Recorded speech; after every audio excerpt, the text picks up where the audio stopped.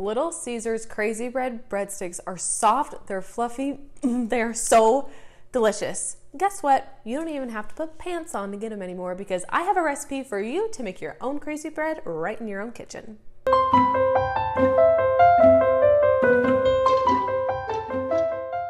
What is up, you guys? It is Karli here, and you're officially cooking with Karli. We are making crazy bread in your own kitchen today, and I'm pretty sure you could probably relate to this, but I think I like the crazy bread better than I like the pizza. And since I live in pretty much the middle of nowhere, it takes a long time to get to any restaurants. I have a lot of copycat recipes on my website, and most popular is this crazy bread recipe. Let's talk about our simple ingredients to make our dough. All we have here is a little bit of warm water and it's divided. I will tell you why in just a minute. We have a little sugar, yeast, salt, and oil, and we have flour here too. And no, that is not my largest bag of flour. our water is separated here so that we can proof our yeast. We want to proof our yeast which means we want to activate it to make sure that it's good and that it's working right so we don't waste all the flour and everything to have breadsticks that don't rise. What I have here is two and one quarter teaspoons of yeast, and that is the same as one packet. And it's going into one quarter cup of warm water. To get the yeast alive and kicking, it needs a little bit of sugar just so it has something to feed on. I have three quarters of a tablespoon of sugar here, which is what the whole recipe calls for. And I am just going to sprinkle in a little bit of that and give it a quick stir to proof our yeast. Let's get this out of the way so you can see here. While this yeast is proofing, it will go from just, you know, water with some yeast in it and it will start to bubble up and rise and foam. And that's exactly what we want to see. While we're waiting for that to bubble up and proof, we're going to add the rest of the ingredients to our stand mixer here. Into our stand mixer is going to go one cup of warm water, a tablespoon of oil. Whoa. That's a weird noise. A teaspoon of salt, the rest of our sugar here, and three cups of flour.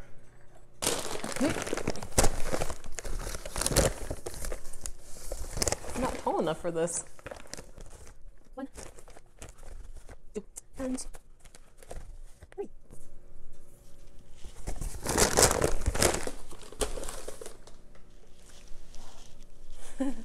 Our yeast is proofed here. Want to come in? Want to come show them this? You can see that it has foamed up and it's bubbled quite a bit, which means our yeast is alive and kicking and it's ready to be tossed into the mixer. Let's put our yeast into the mixer here. And let's knead this for about five minutes. So five minutes after the dough comes together, we're going to continue kneading it. Let's start mixing this. We're going to go slowly at first, and then once the dough has come together, we're going to start kneading a little bit faster, probably on speed, you know, four, almost six, for a total of five minutes. Now, can you make this recipe if you don't have a stand mixer? Of course you can. It will just be quite a bit of a workout. Just stir everything with a spoon or a, like a silicone spatula, something like that, um, in a big bowl until it's too hard to stir everything together, and then turn it out onto your counter and then knead until it is nice and smooth and elastic. It's kind of hard to put a time frame on that just because everybody's guns are a little bit different.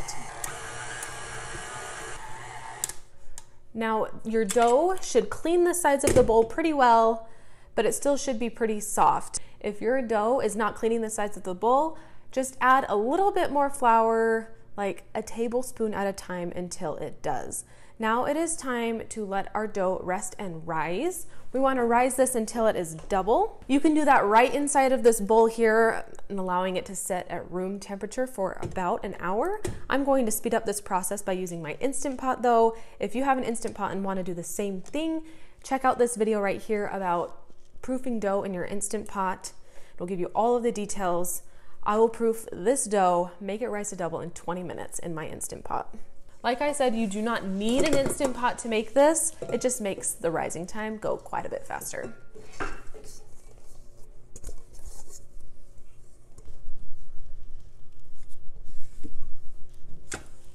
What I'm going to do with this particular dough in my Instant Pot is place it inside a well-oiled or greased liner so that it doesn't stick to our pot.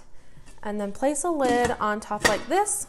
And we're going to press the yogurt button and make sure that it is right here indicating that it's on normal setting and let it sit for 20 minutes and it will rise until double. The bread dough is in the Instant Pot. It has doubled in size and all it took was 22 minutes. I was a little distracted. Do you want to come see? You can see that the bread dough has grown quite a bit. It's doubled in size. I'm going to go grab a cookie sheet and some parchment paper to prepare our pan for our breadsticks. Now, do you need parchment paper for this recipe? No, I just like to use it because then it's a guaranteed nothing's gonna stick to the pan.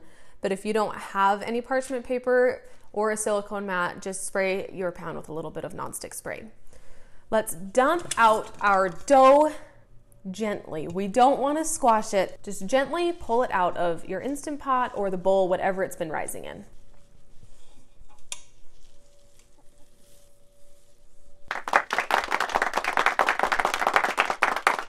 Now we're just gently going to push and shape this into a rectangle. We don't want to totally deflate this or else they won't be quite as fluffy as we would want them to be. While I'm shaping these breadsticks, if you haven't already, go give this video a like and subscribe to my channel with that notification bell so you don't miss any of my new content coming out. I would really, really appreciate it. Our dough is shaped here. It should be, oh, probably about a foot long, six inches wide. The next step is to use a pizza cutter and cut our breadsticks. We're just going to cut our breadsticks. You can make them as thick or as thin as you'd like. Can I tell you why I really like making these at my house? It's because I get to be the one in charge of putting on the Parmesan cheese. It's the worst when you get crazy bread and there's not enough Parmesan cheese on there. They're dry. No more dry crazy bread. These are just going to sit and rest while our oven preheats to 400 degrees. I'm gonna go preheat the oven. The oven is preheated to 400 degrees now, so these are going to slide into that oven for 15 minutes. While the breadsticks are in the oven baking, let's make our garlicky butter spread and measure out our Parmesan cheese. The garlicky butter spread is made with melted butter. We're going to use four tablespoons, so it's a half of a stick, and then one half teaspoon of garlic. I'm going to get to melting this and stirring that together, grabbing out my grated Parmesan cheese. One half of a stick or a quarter of a cup. One quarter cup of butter is going to be popped into the microwave to melt completely before we add in that garlic. Butter is melted. Let's measure out one half teaspoon of garlic powder. And we'll just stir this together with a spoon.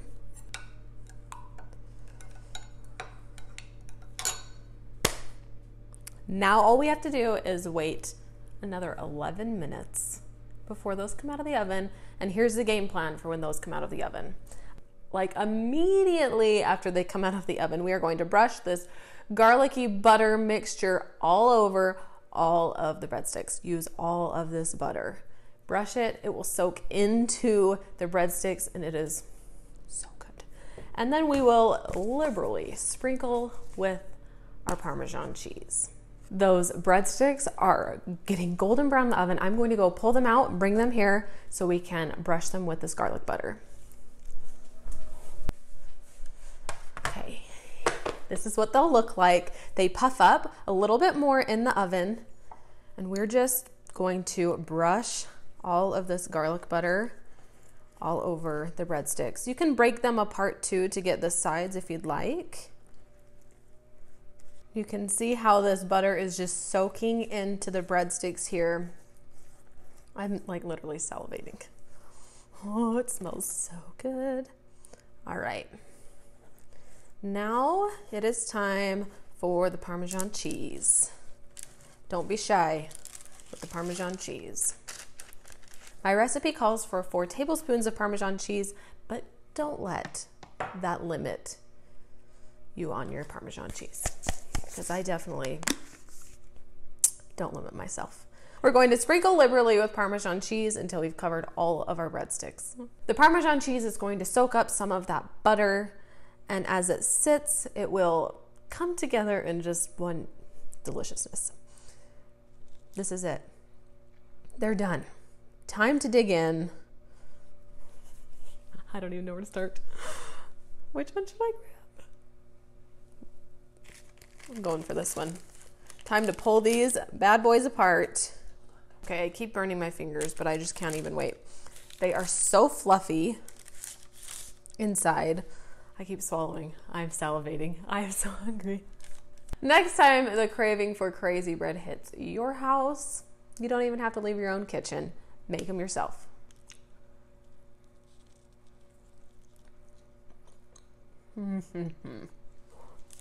I like to wipe up the extra butter and Parmesan cheese. On